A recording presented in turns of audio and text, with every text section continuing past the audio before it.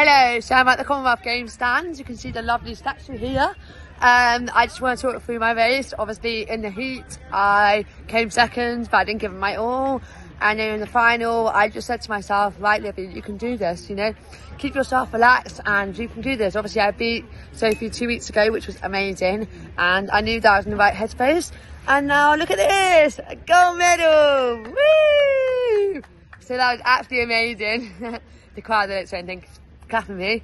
Um, but I just want to say a massive thank you to STR for all your support and I couldn't be more grateful to have you guys behind me. So thank you guys. I'll come and see you when I am back. Thank you very much for your support and see you when I'm back.